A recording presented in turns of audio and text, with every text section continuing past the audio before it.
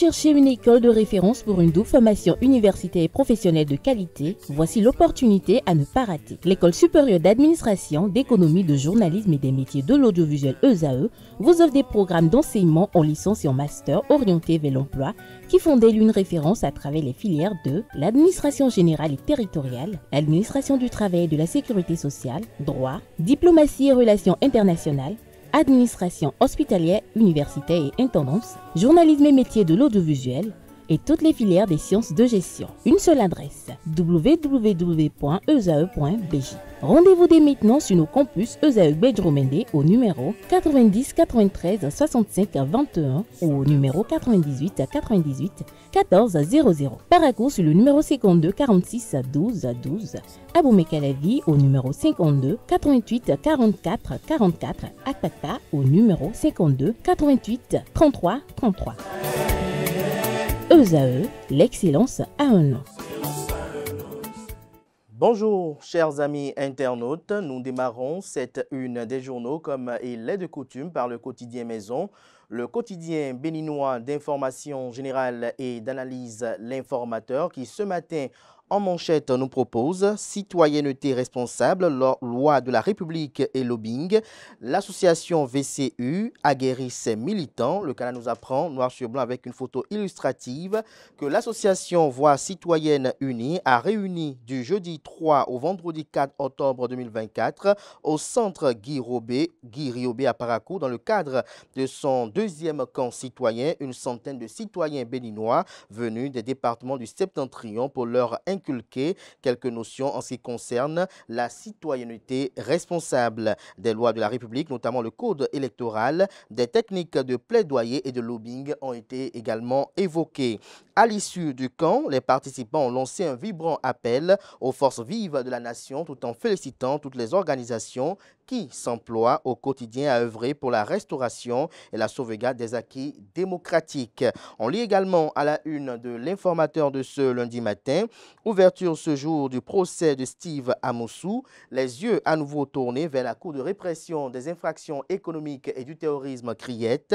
Steve Amoussou sera-t-il frère en vie se questionne le canard. On lit également à la une de l'informateur de ce lundi 7 octobre 2024, 19e sommet de la francophonie en France les retombées de la participation du Bénin vous sont exposées dans les colonnes de sa parution de ce matin. Retrouvez dans les mêmes colonnes de la parution de ce matin de l'informateur les productions journalistiques des étudiants en formation sur les différents campus de l'ESAE, l'école supérieure d'administration, d'économie, de journalisme et des métiers de l'audiovisuel ESAE qui a ses campus dans les villes de Cotonou, d'Abomey-Calavi et de Paracou. La Nation, ce matin, manchette, parle d'exposition itinérante Révélation art contemporain en France à la découverte de la vitalité artistique béninoise. Une photo illustrative sur laquelle on aperçoit les présidents Patrice Talon et Emmanuel Macron. Retrouvez l'article compte rendu en page 3. 19e réunion des ministres en charge des télécommunications et des technologies de l'information et de la communication. Le numérique comme un levier d'inclusion sociale. L'article à retrouver en page 7. Au médiateur de la République, l'ambassadeur de la Chine fait un don d'un lot de matériel. Retrouvez des précisions sur le dit don dans les colonnes de la livraison ce matin du quotidien de service public. Révélation culturelle, l'art béninois conquiert Paris. Nous titre Fraternité ce matin en manchette. En illustration, une photo prise au cours de cette exposition, notamment l'ouverture. Retrouvez l'article de Fraternité en page 3 de sa livraison. On lit également à la une de fraternité de ce matin, 82e session du comité exécutif et la 46e conférence de l'Union parlementaire africaine.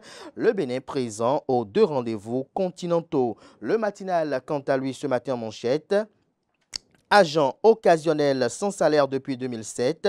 Précision du ministère de l'Intérieur. Le Canada nous apprend que dans sa parution du lundi 30 septembre 2024, faisant état de ce que des agents occasionnels du ministère de l'Intérieur et de la Sécurité publique sont sans rémunération depuis 2007, le secrétaire général adjoint du dit département ministériel a réagi pour apporter quelques clarifications. En clair, il est indiqué que le dossier des 10 agents est déjà transféré au ministère du Travail et de la fonction publique où il est en étude. Retrouvez des détails sur la réponse de Adamou Abba Banya dans les colonnes de la page du matin journal, notamment en page 10. On lit également à la une de le matinal de ce matin, FLAC, Université d'Abomey-Calavi, les soutenances de mémoire supprimées. Retrouvez le mobile en page 4. Le Béninois libéré ce matin parle de coup d'État manqué, de plan de communication pour sa pour salir, autant pour moi, la présidence béninoise et insinuer un troisième mandat. Ceux qui s'attaquent à Patrice Talon rendent-ils service réellement à Olivier Bocor se questionne le canard, Voice Africa payé pour raconter des balivernes sur les investigations de la rédaction. Retrouvez les fondements de ce titre en manchette en page 3 de sa livraison. Coup d'État manqué au Bénin. Rachidi Badamassi dénonce l'usage de 1,5 milliard de francs CFA pour déstabiliser le pays. Le potentiel quand à lui, suspension des dotations en carburant à la Société de radio et télévision du Bénin ex-ORTB.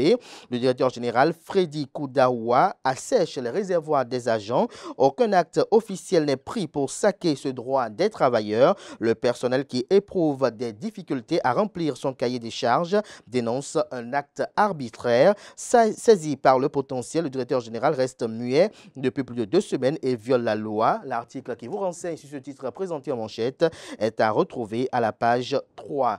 Incarcéré pour une affaire dite de tentative d'atteinte à la sûreté de l'État, Olivier Bocor, un rêve présidentiel sacrifié, l'usure du temps, l'épreuve redoutable. Olivier, son destin désormais lié au calendrier judiciaire L'hypocrisie, le reniement, le rejet et l'abandon, la psychologie du détenu éprouvée par de faux amis, fait observer le journal, retrouvez son article sur cette actualité majeure à la page 4 de sa livraison de ce matin. Le canal nous propose également comme titre ce matin, Exposition, révélation art contemporain du Bénin à Paris, entre tradition et modernité, le génie béninois mis en lumière. Patrice Talon et Emmanuel Macron ont présidé le vernissage.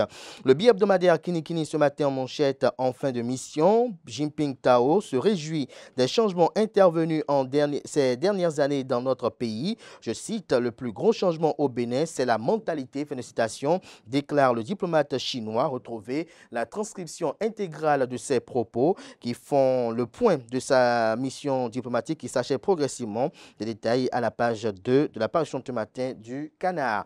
Le quotidien Info Matin, Steve Amoussou au frère Ouvi avec un point d'interrogation comme vous l'apercevez si bien. Quel prévenu sera devant le procureur spécial de la criette ce jour? S'interroge le canard en illustrant sa photo de Steve, en, illustrant autant pour moi son titre de la photo de Steve Amoussou et de l'enseigne de la Cour de répression des infractions économiques et du terrorisme Criette. Préparatif de la fête identitaire Goudou Kossou coulé à. Le tissu officiel révélé nous apprend le canard ce matin. On découvre à présent Libération, Libération à contemporain. Les œuvres béninoises trônent à la conciergerie de Paris. L'article à retrouver à la page 3. On lit également à la une de Libération de ce matin, loi des finances, vers une relecture de la loi organique. Agent judiciaire du Trésor, sont 10 personnes conviées au secrétariat de l'agence.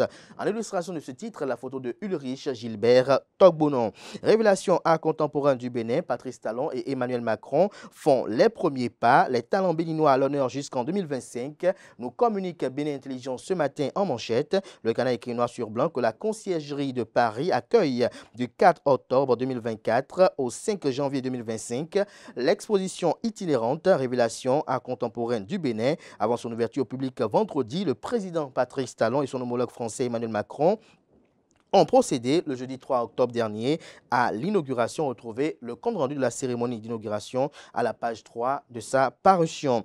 Le premier quotidien économique du Bénin, l'économiste bien évidemment, parle de commerce, commerce extérieur du Bénin au deuxième trimestre 2024. Chute simultanée de 13% des exportations et importations. Retrouvez des détails à la page 3. Nord-Sud quotidien, quant à lui, système de retraite au Bénin. La transition vers la capitalisation devient urgente.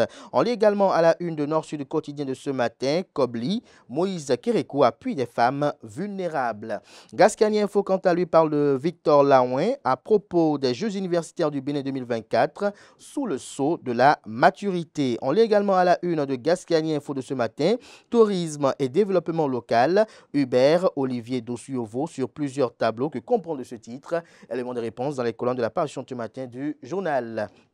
L'événement du jour à présent, révélation béninoise à la conciergerie de Paris, l'exposition d'art contemporain du Bénin ouverte au public, un moment inédit dans le panorama artistique international. Le quotidien Nassera à présent, deuxième sortie de voix citoyenne unie à Paracou, plus qu'une plus qu'une exigence, autant pour moi, plus qu'une exigence, la relature du code électoral est une priorité, fait observer le canard. On lit également la une de Nassiara de ce matin, prime à la démocratie, adhésion du Parti Les Démocrates dans le prestigieux cercle de l'Alliance progressiste mondiale. Dabarou, quant à lui à sa une, nous informe des audiences à la haute autorité de l'audiovisuel et de la communication AK 7e mandature. Sidikou Karimou et Yassine Alao reçus en audience nous le Canard retrouvé le point de ces audiences du président Édouard Kokouloko dans les colonnes de la page ce matin du journal. La guérite, quant à lui, communique prise de position au sujet des coups du coup d'État déjoué à Cotonou, Nathanaël Sokwekwe et Roussou Guédé, un duo courageux, les leaders du bloc républicain de la 6e circonscription électorale, disent non à la prise de pouvoir par les armes. Depuis Aboumé Kalavi, ils réitèrent le soutien au président Patrice Talon. Le ministre d'État, président du parti politique bloc républicain Ablaï Biotiane, peut compter sur ses lieutenants, conclut le confrère. Dans la même veine de soutien au président Patrice Talon, la première nous communique ce matin en manchette 21e circonscription électorale qui comprend bien évidemment la commune de Sakété. Réaction des militants du bloc républicain face à la tentative de coup d'État. L'Amazon du nouveau départ, l'honorable Fatolou Omombale Rachidatou, princesse Aréman et les républicains de Sakété, Ifan Adjaware condamnent fermement et réaffirment leur soutien au président Patrice Talon. Le pays émergent parle de l'affaire de tentative de coup d'État. Le Canada fait observer que le parti politique Les Démocrates est dans la délation. On lit également à la une du même canard ce matin, suspension arbitraire des dotations carburant à la SRTB ex-ORTB. À quoi joue le directeur général par intérim? Les travailleurs sur pied de guerre menacent, nous informe la rédaction. Décryptage info quant à lui, coopération Bénin-Pays-Bas. Le professeur Dorothée Sosa, président de la Cour constitutionnelle du Bénin échange avec l'ambassadeur. Retrouvez des détails sur l'issue de cette euh, audience dans les colonnes de la page ce matin du canal. Les quatre vérités à présent. 82e session du comité exécutif et 46e conférence de l'Union parlementaire africaine, une délégation du Bénin au Tchad, retrouvez les retombées escomptées à la page 7. Occupation des entreprises de ligne électrique à haute tension, la SB2E sensibilise et menace de sévir.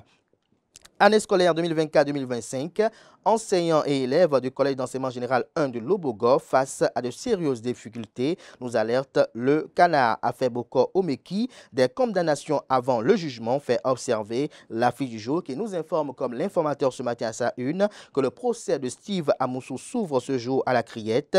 Le canard fait savoir que Steve Amoussou, considéré comme frère Ronvi, l'auteur des chroniques acerbes sur le pouvoir du président Patrice Talon sera à nouveau devant le procureur spécial après la Cour de répression des infractions économiques et du terrorisme.